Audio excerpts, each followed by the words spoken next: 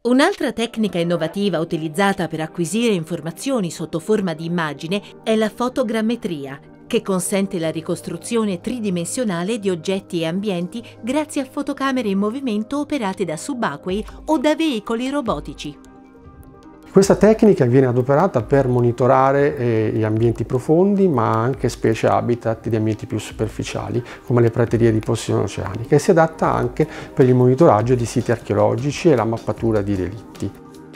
L'acquisizione fotogrammetrica di un richiede diverse ore di attività in immersione, soprattutto se condotta da subacquei. Per quanto riguarda l'esperienza condotta da ISPRA con il supporto dei carabinieri subacquei, nell'ambito del rilievo condotto per l'LST, il relitto di Punta Papa, sono stati necessari circa un giorno di acquisizione, per l'elaborazione delle, delle, immagini sono state diciamo, necessarie circa 15 giorni di, di elaborazione dei dati.